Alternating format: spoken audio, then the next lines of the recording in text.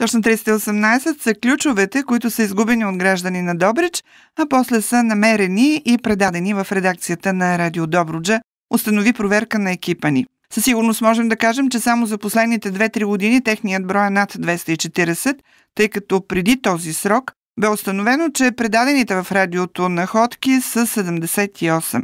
Сред тях има и много връзки, като най-големите са с по 10 ключа, а най-многобройни са двойките изгубени ключове – 16. Голяма част от връзките са с атрактивни и разпознаваеми от собствениците ключодържатели, като първенството се държи от огромен синжир с планинарска карабина, който освен кръс с камъни и скелет на длан, има и множество други украси. Най-много са ключовете за автомобил, като има няколко с дистанционни устройства, следват тези за апартамент и за катинари. Ако някой си разпознае собствеността, нека заповяда при нас. Ние сме на улица Максим Горки 1.